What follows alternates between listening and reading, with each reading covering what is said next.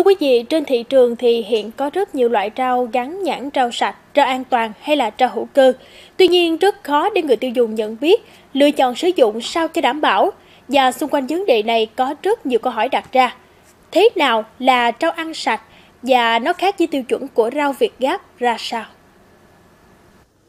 Các cửa hàng bách hóa xanh ở Cần Thơ cho biết, các loại rau củ quả đều được tổng kho ở một số tỉnh nhập về, sau đó phân phối đến các điểm bán lẻ. Do đó, có một số sản phẩm không bao bì nhãn mát, nên người mua khó nhận dạng rõ nguồn gốc và thời hạn sử dụng.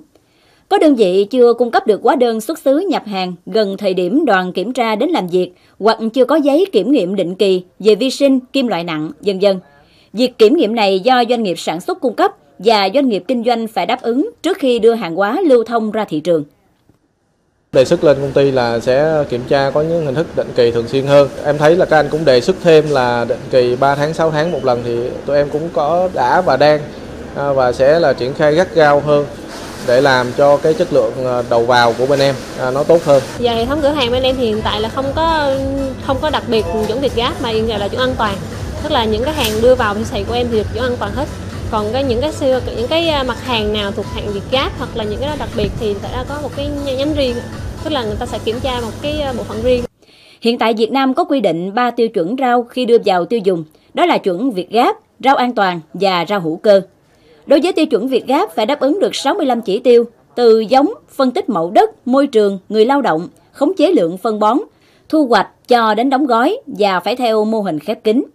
Rau an toàn phải đạt quy chuẩn kỹ thuật quốc gia về điều kiện an toàn thực phẩm, sản xuất theo quy trình, được chứng nhận an toàn của các sở nông nghiệp và phát triển nông thôn cấp tỉnh.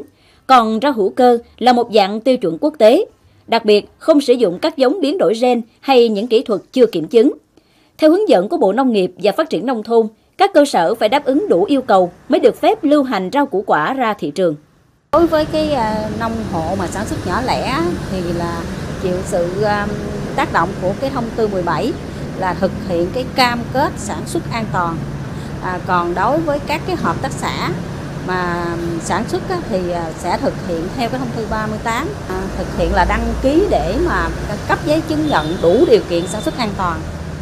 Như vậy có thể thấy để chứng minh rau củ quả sạch thì từ khâu sản xuất cho đến phân phối phải đảm bảo các quy trình theo quy định. Ngoài kiểm soát của ngành chức năng thì chính người tiêu dùng cũng nên nắm rõ các thông tin về sản phẩm để bảo vệ sức khỏe cho bản thân và gia đình.